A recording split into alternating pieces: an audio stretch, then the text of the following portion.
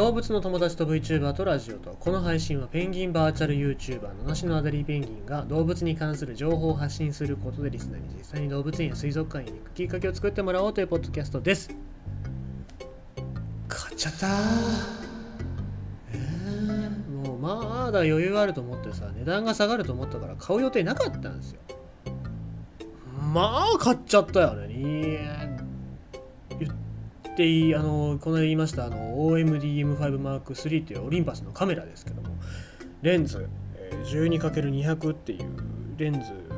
もうセットで買いましたよ。みんな気になるでしょう値段が。だいたいね22万3000円ぐらいですね、で買っちゃったっすね。お金がなくなるっていう最近散財しすぎだからさちょっと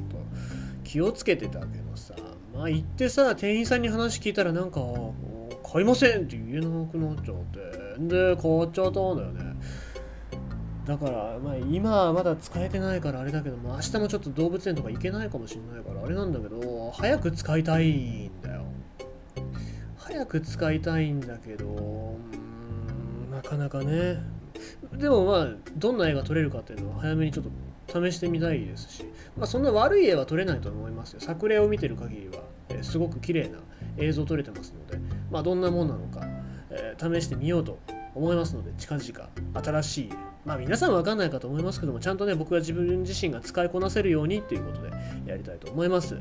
さて、えーちょっと短くなるかもしれませんけどもね配信が今日遅れましたのでサクッと読みます。カラパイ屋さんからのニュースです、えー10万分の1の確率で生まれたアルビノのオットセイの赤ちゃん。オレンジ色の体毛にピンク色のヒレ。まあ、アルビノと言いますとアデリーペンギンでいうと真っ白なアデリーペンギンが生まれたりとかいろいろとその先天性のメラニン欠乏による、えーまあ、遺伝子疾患ですね、まあ、人間も同じようにアルビノが生まれる可能性もあるんですけどもオットセイの場合その確率は10万分の1というからかなり珍しいと。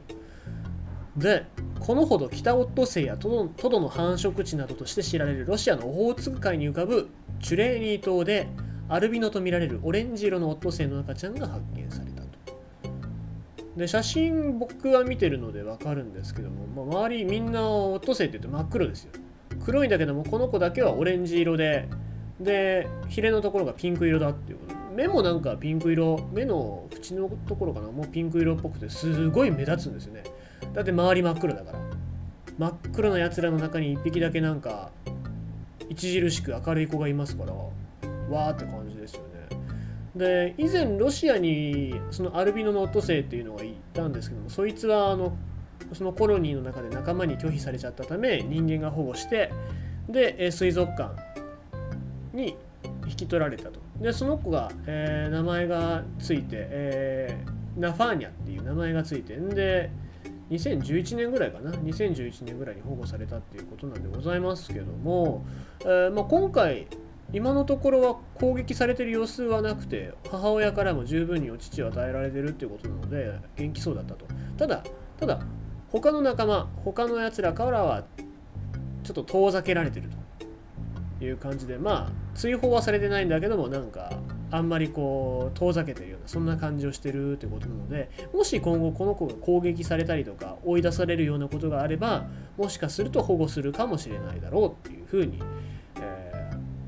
ーまあ、記事ではまとまってるわけなんでございますけれどもアルビノ自体がやっぱり免疫力が低かったりとかその視覚目の病気だったりとかっていうのでちょっと野生の中では生きていきづらかったりしますのでまあこの子がちゃんと成熟して野生の中で生きていけるかどうかっていうのはわからないんですけどもまあやっぱ野生の中で頑張ってほしいよなっていう感じはしますね。なるべくこう人間に引き取られることなくしっかり自分の力で生きていってほしいななんて思いますけどね。ただやっぱうんこうなると下手するとね人間に襲われる可能性もあるんですね最近。オットセイオットセイのは基本的に海にいるからそんな人いませんけどもライオンだったりキリンだったりサイとかいろいろな野生生物で陸上の生物っていうのはもしこういうので有名になっちゃって名前なんか付けられたりするとハンターが狙いに来てでこの有名な子殺したぜみたいな感じですごい自慢をするんですよね。で、えー、しかも批判を浴びてもいやハンティングだからこれはハンティングで名誉のことだからなんで俺が反省する必要があるんだみたいなことを言い始めますからうんまあアルビノアルビノの子がいましたよっていうのがニュースになるのはいいんですけども、まあ、そんなことで有名になっちゃって殺されちゃったっていう野生生物もいますのでまあやっぱり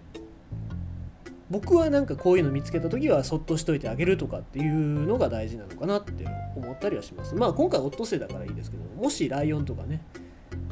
絶滅の危機に瀕してるあとはペット目的で、えー、し取引されてるような生き物っていうのが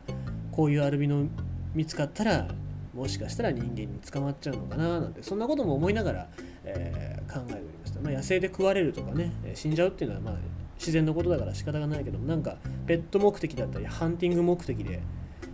野生で生きていけなくなるっていうのはちょっと違うかなと僕は思いますので、えー、あんまり過干渉、え